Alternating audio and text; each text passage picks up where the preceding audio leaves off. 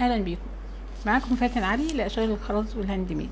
الفيديو ده يا جماعة خاص بالناس اللي بتشتغل في مجال الخرز زي حالاتي كده أو الناس اللي لسه هتبتدي في الشغل وكتير من الناس بتسأل إزاي أقدر أحسب النسبة بتاعتي من الشغل. تمام كده؟ أول حاجة لازم يبقى عندي الميزان ده. تمام؟ وبنشغله. أي منتج أنا عايزة أوزنه.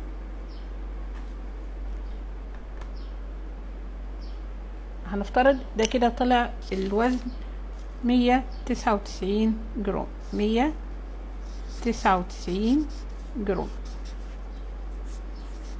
تمام كده؟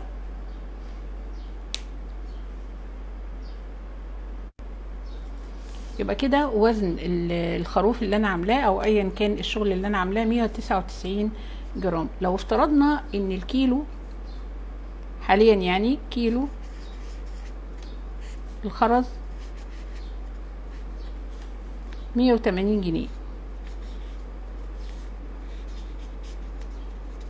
أنا عايزة أحسب المية تسعة وتسعين جرام هتبقى بكام؟ هنقول لو إن الكيلو الواحد كيلو أو الالف جرام بيساوي مية وتمانين جنيه.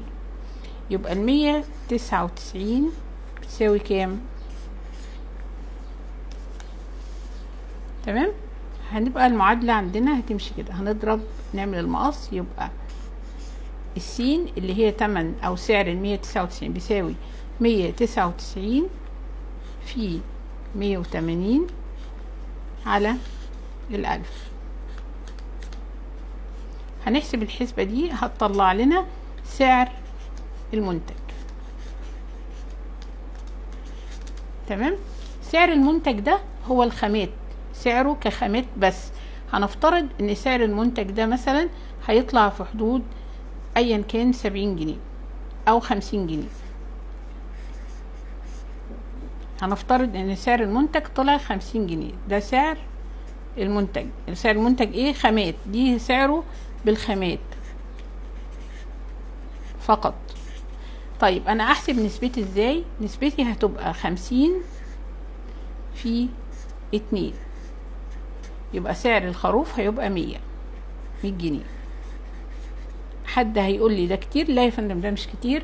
إحنا بناخد قد سعر قد قد تكلفة المنتج. يعني لو المنتج خمسة وعشرين جنيه تكلفته خرز وخامات خرز وخيط يبقى نضرب في اتنين هيبقى خمسين. لو إن تكلفته خمسين هنضرب في اتنين هيبقى مية. وأكتر من كده إن في بعض الحاجات اللي ممكن نحتاج أو نضطر إن إحنا نضيف اتنين في المية من سعر أو تكلفة من التكلفة.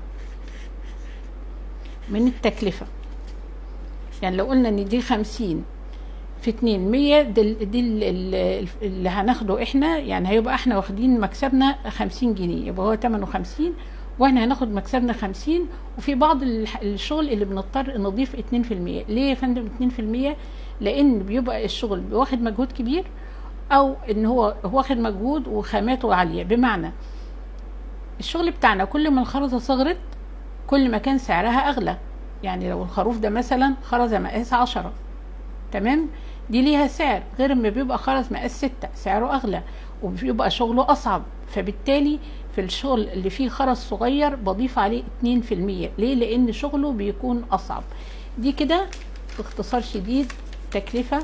إزاي أقدر أحسب النسبة بتاعتي؟ عملت لكم فيديو سريع واعذروني على الخط الحلو بتاعي ده محدش يعلق عليه الله يبارك لكم منعا للإحراج يعني. فهنا ده يعتبر إحنا كده بشكل سريع حددنا النسبة أو تكلفة المنتج اللي أنا ممكن أعمله وإزاي أقدر أحسبها. ولو في أي جزء في الحاجات دي مش واضحة يا ريت حضراتكم تسيبولي في التعليقات وأنا تحت أمركم هوضح لكم اللي أنتوا عايزينه. طبعا الفيديو ده يخص الناس اللي هتشتغل في المجال أو اللي بدأت فعليا في المجال أو الناس اللي حرفيا شغالة وبتتلخبط في حسبة النسبة بتاعتها في الشغل. فيديو سريع وخفيف يا رب تستفيدوا منه بإذن الله آه لغاية ما أقابلكم بإذن الله الفيديو اللي جاي بإذن الله. كان معاكم فاتن علي لأشغال الخرز والهاند ميد. شكرا لكم